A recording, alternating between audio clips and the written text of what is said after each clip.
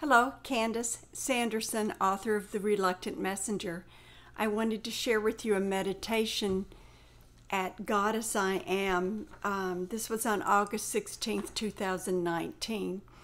As usual, I got to the meditation early and the messages started coming in before the meditation even began.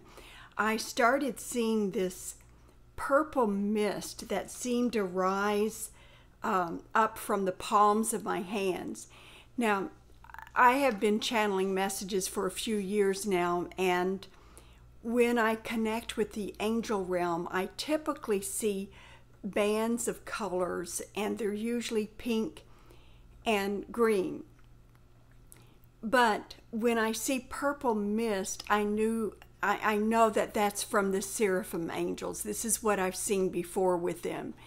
So I knew that we were going to have a very powerful experience. Um, immediately the messages started coming. And once again, this is before Beth even began the meditation. So I quickly just started writing down the messages. So let me share that with you. We are part of the guidance that ushers souls back and forth across dimensions between the physical and non physical. Use your non physical senses to connect with us. Breathe in our energies. Let the breath of angels circulate throughout your body, healing you. Bring your energy into that cellular level. Bring our energy to the level of your DNA. Allow these energies to blend so that you and I are one. Bring forth the divine. Know that you and I are one. We live within the divine, and the divine lives within us.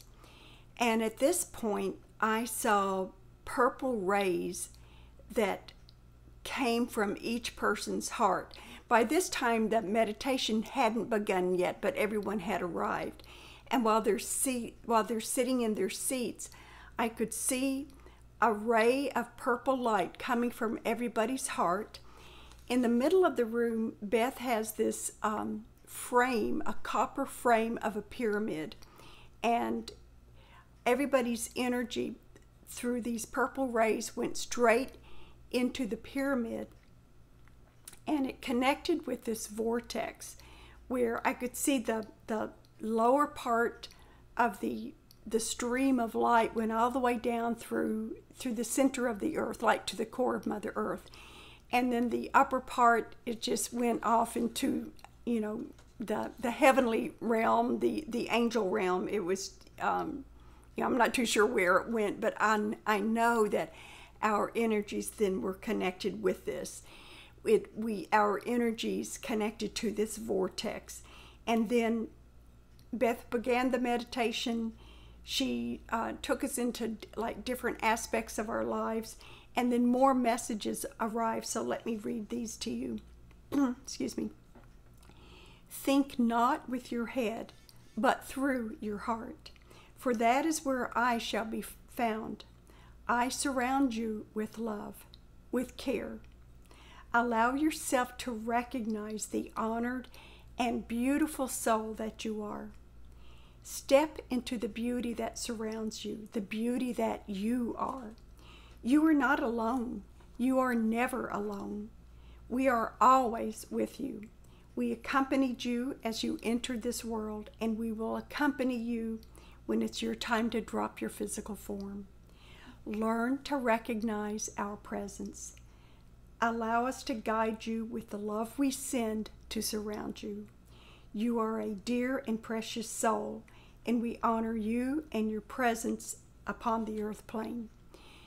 Now, it's sometimes difficult to hear a message like this where um, angels, and in this case, seraphim angels, are coming to us and they are honoring us as light bearers for them. We are so entrained to think of you know ourselves as um, just human and not capable of connecting with these higher sources.